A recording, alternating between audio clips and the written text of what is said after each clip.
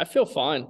Um, yeah, I mean, obviously, when you when you wreck, you're going to be a little sore, but from um, I mean, I felt fine when I got out of the race car, and and uh, you know, Monday I was a little sore, and I was still able to do my workouts and everything I wanted to do, and woke up today and I felt fine. So um, just obviously the uh, the mindset is everything's looking looking forward to uh, to Dover and and hoping that hoping that we get qualifying in because as as a lot of you guys know, track position is is huge and we unfortunately haven't been able to to get the amount of points that we've been working towards. So um but yeah, no, I feel good. Curious if you've looked at the in-car camera from some of from your accident and, and kind of how violently you moved and I'm curious if that if you've talked to anybody yet, or is that considered normal or abnormal to uh, reaction in that wreck? Um, well, I can tell you I lived it firsthand experience and and then going back and seeing it.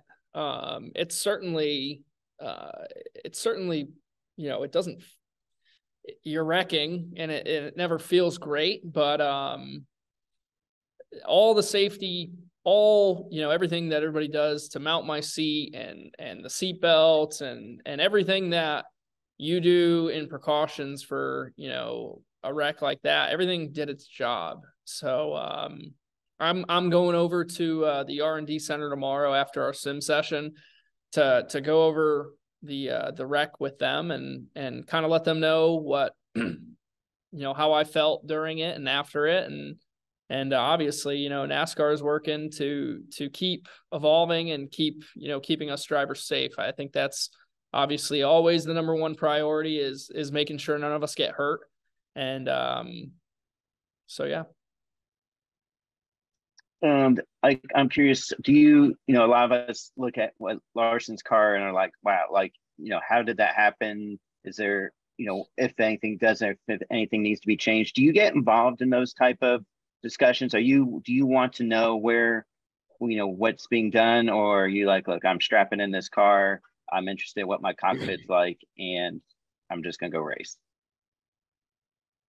You know, there's a lot of it's uh, it's tough to say. Like at the end of the day, I want to know, you know, about my race car and and and those things. But yeah, I I am 100% just if I feel comfortable in my cockpit, you know, I feel safe. So, um, you know, the, anything outside of that with car structure and and and those items, um, I can only protect the things that that are in my little realm, and I make sure that I try to uh, feel as as comfortable and, and as safe as I can in in there. So, uh, but you know, at the end of the day, I got up yesterday at 6:30 in the morning. I came here to SHR. I worked out. I did all those things. So, um, you know, very, very, very lucky to have a great group of people putting uh, safety first and at, at, this organization. And and um, you know, I'm okay. Thank you, Bob. Let's go to Marty Sakala. Go ahead, Marty. Thanks, Dan. Ryan, glad to see you uh, okay after that incident. Um, you mentioned post race out of the infield care center about having these good runs lately and then getting wrecked. You've been battling real, real hard near the front, at least in the last three races. How much does that motivate you entering Dover, trying to get that first top 10 of the season and maybe even a win? Yeah, it's, it's frustrating um, because we've had an, a lot of races where we've had good speed. We've had, you know, I've always said that you got to start with top 15s or top 10s and consistently running there and then top fives and, and chasing wins right and and uh, you know i feel like uh, especially the past four weeks that we've had cars and and we've had we've been putting races together uh, to have opportunities like that. And then just you know at the end of the race a lot of things that just eh, chaos breaks out. And and sometimes you're the bug and sometimes you're the windshield. And ultimately it'll be nice when we're we're the windshield not the bug. But um i'm i'm proud of the fact that you know our team our pit crew uh, chad's doing a great job and everybody our engineers are are working you know together. And that's what it takes. And um but as i don't know if many of you guys uh listen to denny's podcast but that's something that i've enjoyed listening to because of his honest opinion of of what it takes to win at this level now and and how much the the sport has kind of evolved. It, it it doesn't always take the fastest car to win anymore. Now it takes execution. So that's something that um you know I I know I've been focusing on for the past week or so and and really just kind of turning turning you know my attention more so than ever to the little details that it takes to to make sure that you know in lap 380s there that you're still giving yourself an opportunity to have a chance at it Following up on uh, Denny's podcast, he's been giving out ideas, not just on there, but also Twitter for a bracket like competition that pays out a bunch to the winner and to anyone who has a perfect bracket, a little bit similar to what DirecTV did with the head to head challenge in 2010. What's your take on it? Would you be down for that? A little fun competition during the summer? So I haven't heard the details yet. Um, obviously I've been seeing some posts on it, but uh, a midsummer class like like something like that that'll create excitement. I think you have to be very um, willing to to try things, and and anything that creates hype is is never a bad thing, right? But um, without knowing any of the details, I don't I don't really know, but um, it certainly it sounds uh, pretty interesting. Looking forward to seeing you this weekend. Best of luck. Thanks. Thank you, Marty. Let's go to Nathan Solomon. Hello, Nathan. Thanks, Dan Ryan. Appreciate you taking some time here and, and following up on, on a couple questions ago. You know, you mentioned the NASCAR is a five car, NASCAR has your car. So when they're looking at cars and and trying to piece together kind of what happened in that wreck, what do you hope that you can learn and, and NASCAR can learn and really everybody can learn about kind of what what can happen and or what happened and, and what can be done to kind of increase the safety in incidents like that? Well, I think um, you know I don't design race cars, but I right now you obviously feel the impact. Um, it was it was probably one of the toughest hits that I've ever taken in a race car, and and I've hit uh, I've hit walls, you know, with hung throttles on concrete, you know, concrete walls that have dirt behind them, and and I'm sure Kyle's taken you know heavy hits or, or big flips in the past. So anything that we can do to to kind of keep working to lessen the impact that we feel as a driver is is certainly um, is certainly going to help. But uh, as far as kind of what they they do with the information they're gathering and and hopefully it's something that's going to benefit us drivers uh, sooner than later. And then looking ahead to this weekend, Dover is one of the races you did last year. So is it beneficial at all to kind of have that notebook uh, to an extent from the next gen car? Yeah, that's actually a race um, that I've been stressing to Chad about. I really felt like we had such a good race car uh, last year, and and just never we never got track position, and we never um, we actually had a tire go down a couple times, and and then I believe when AJ lost a tire during the green flag pit cycle, we lost a lap or two laps or whatever it was, and it just kind of dampened our day. But from a speed standpoint, we were really fast in practice and we had a great race car. So, um, you know, I feel like uh, some of our baseline of what we've decided to take this weekend uh, strongly goes off of that. And, and I have high expectations. Just uh, as you all know, it's it's Dover and it's April and it tends to rain a lot up there. So hopefully we we can miss we can we can at least get practice and qualifying in or something for us and and uh, not have to start 30th and and work your way back up the entire race. Thanks, Ryan. Appreciate it. Thanks. Let's go to David Hoffman. Hello, David. Hey, Dan. Uh, thanks for taking the time, Ryan. Uh, I know kind of basing off of Marty's question earlier, I mean, you've been beat up a couple times already this year. Just mentally, what keeps you going despite the start of the year that you've had? Uh, I would say the speed standpoint of of that you know it's not like we run 25th to 30th and and just have bad days right? It's you know COTA you're running top 7 or whatever it is. And Richmond you're you're pretty much around the 10th to 12th all day. And Bristol you have a great heat race and run pretty well. And and then uh you know Martinsville you get the pole. Yeah it's not it's not like you're just frustrated and you don't have speed and you're getting poor results. It's just sometimes there's things that you try to control that you can't control and you know you just got to wake up on on monday morning and and reset and and that's something that i try to do within our team is eh, lead by example, right? So if if I stop showing up and I stop doing the things that that I should be doing, well, then everybody else is is going to do the same. So I try to make sure that every every Monday is a new week. Doesn't matter if it was a good day or a bad day. It's it's business as usual. Thanks, Ryan. Good luck this weekend. Thanks. Boy, did that sound a little bit like Kevin Harvick. Every week, just do the same thing. That's what Kevin says. You just do the same thing week to week. Well, I've heard that quite a bit. You know, He's, I'm- he's rubbing off on you. which, you know, Yeah. Kevin's been a really, really great teammate for me and somebody that I really lean on. So I guess, I guess it's really starting to rub off here. Soak it in. It's a good thing. Let's go to Kyle Dalton. Hey, Kyle. Yeah, hey Ryan. So um going back to the accident, uh first of all, do you wear a mouthpiece? Because I know multiple drivers do wear mouthpieces. Do you wear one? I, I do not. Okay. So my second question is, did your head hit the steering wheel? Because on the replay, it's really hard to tell, but it looks like it comes very close to hitting the steering wheel. I got to be honest with you. Things happen really fast in a race car, and I I don't think so. Maybe it did, maybe it didn't.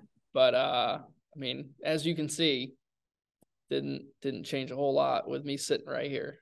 Sure, sure. Okay, yeah, I was just curious because it was it was hard to tell. So you you I think you categorized it as P1 on your all-time hits. So I mean, what do you what do you take about take away from this as far as the safety? Because you got out of the car, Kyle got out of the car. I mean, I think everybody's been very critical of of the next gen car, but when it comes to an accident like that, both of you guys walked away. So what does that say and speak to the safety of a, an actual next NASCAR next gen car? Well, I think there's always things you can you can do to improve, right? There's there's way that that we can help us drivers. Um, I feel like I, I'm pretty freaking tough when it comes to taking the taking hits or whatever. So, um, I feel good, but I, I mean, you're you're still sore. It's not like you're not. So there's certainly things that we can do uh, to continue critiquing and and making the car better. So um, that us drivers, you know, we aren't as sore or, or whatever if other drivers feel, you know, however they crash. Something that my body does naturally, apparently, after watching this wreck is they last year they talked of drivers pushing their head back uh, before they wreck to make sure that they didn't slam their head and, and cause a concussion. Well, my body just naturally does that before impact. So I'm very lucky that an instinct of mine is to brace and and I don't, you know, um, I don't get any or I haven't gotten a concussion. So um so to speak on that, yeah, Kyle and I are very lucky. We're we're lucky that uh we're able to help the process to continue to to make the car safer and but yeah, I mean we both wrecked and and we're okay, so it's good. Thanks. Good luck this weekend. Thanks. Mitchell Brewer. Hello, Mitchell. Go ahead. Ryan, as somebody that came back to the Cup Series this season, with all the chatter that, that there is about how long this Cup Series schedule is and how there's not a lot of breaks, has there been much of an adjustment for you getting back into the swing of a full time schedule, or has that part time schedule that you ran last year, where was that able to help you stay focused for such a long? Yeah, so me, um, racing once a week has has been something out of the norm for me. Uh, usually, I'm used to racing, you know, two, three, four times a week, like or five times a week, like some of the other guys. And and then when you get to this level, it's you're focused on one division, pretty much one car, and and you're racing once a week. So last year was more of an adjustment, not racing all the time, than it was this year going into to being in that groove and and you know having a um not a schedule, but a routine, so to speak. So I would say this year has been easier to adjust to than last year. Thank you. All right, let's go to Dustin Long, NBC Sports. Go ahead, Dustin. Thank you. Hey, um, Ryan, I'm curious. Uh, Riley Herbst was on beforehand and, and talked about his accident uh, in, in, I'm not saying it's exactly the same way, but some similar circumstances as yours. And one of the things he said is after that accident, look at adjusting the, the belts a little bit um, and just kind of making the changes in response to what happened there. Obviously, as you said, you're you're fine and you came out great in this. Are there any adjustments that you make um, after that going through this experience in in terms of or is is it, hey look you're here and everything worked as as way it should and no need to make any changes it's funny that you you say this um you know kevin called me yesterday and we were kind of talking about uh one of the things he said is man you moved a lot and i said yeah i guess i i got a lot of mass that that those seatbelts have to hold in but um no i mean it's kevin made a great point yesterday because i, I was under the I kind of had the opinion that everything did its job. I feel great. Um, so why change anything? But he brought up the point of you can always make it better. You can look at this as okay, well, how do you feel here? What can you do different with your belts or your HANS or or whether so something I do as a driver is I don't clip my my shield all the way down.